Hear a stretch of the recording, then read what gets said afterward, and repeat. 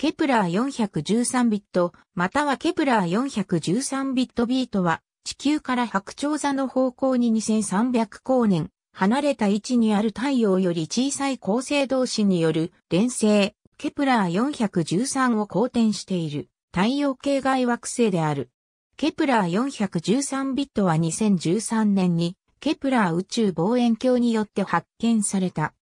ケプラー413bはケヘプラー413連星系全体を公転する周連星惑星である。周連星惑星は2015年6月の時点で10数個しか発見されていない特殊な分類である。ちなみに、ケプラー宇宙望遠鏡が発見した周連星惑星ではケプラー413bは8、0目となる。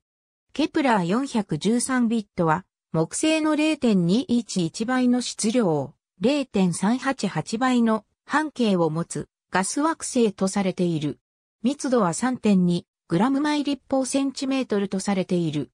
ケプラー413bは連星系から 0.3553au の距離を62.262日で公転している。ケプラー413bは大部分の他の惑星と異なり、歳差運動が大きく、観測から11年間に最大で約30度も自転軸の傾きが変化する結果が出ている。地球の歳差運動は2万6000年で23.5度であることを考えるとこれはとても大きな歳差運動である。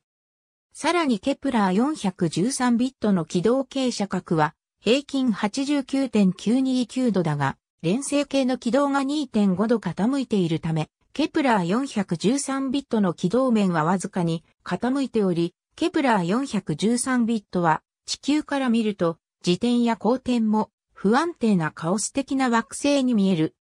ケプラー413bの軌道面はやや傾いているため、ケプラー413bはトランジットを毎回起こさないことになる。ケプラー413bは、ケプラーのデータ1500日分の中で、冒頭の半年間に3回のトランジットを起こしたが、後の2年間はトランジットを起こしておらず、その後再び5回のトランジットを起こしたことが記録されている。軌道面が傾いている理由は分かっていないが、未知の恒星や惑星の可能性がある。ケプラー413bのトランジットは2015年7月、現在発生しておらず、次のトランジットは2020年まで発生しないとされている。ありがとうございます。